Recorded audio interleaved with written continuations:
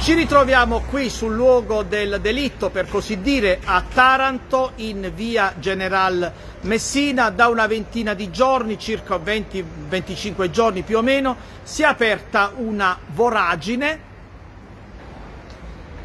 un vero e proprio baratro, un cratere, un qualcosa di inimmaginabile e vedete, sta qui. Nessuno interviene, l'amministrazione comunale ha recintato la zona, peraltro è un punto anche strategico che insiste proprio dinanzi ad una farmacia, ma al di là di questo c'è proprio l'assurdità la, che dinanzi ad una situazione del genere, che già denota una incapacità dell'amministrazione comunale di monitorare la sicurezza delle strade e quindi una realtà che mette a serio rischio l'incolumità dei cittadini.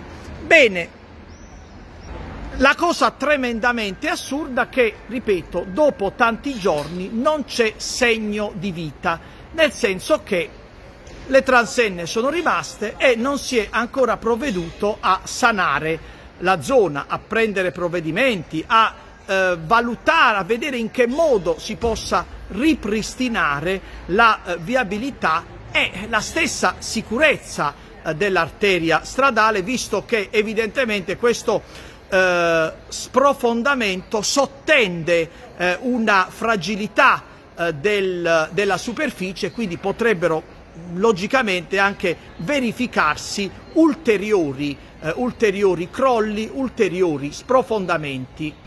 Guardate qui le solite transenne, polizia locale, comune di Taranto e come si suol dire chi si è visto si è visto. Guardate, guardate, guardate qua giù.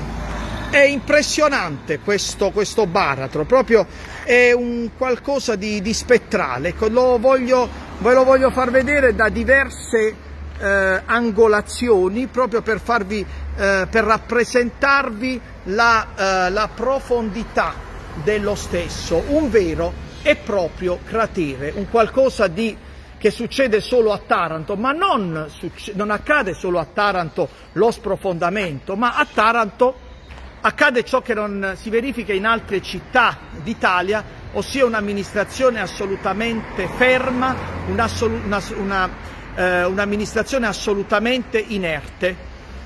Che dire?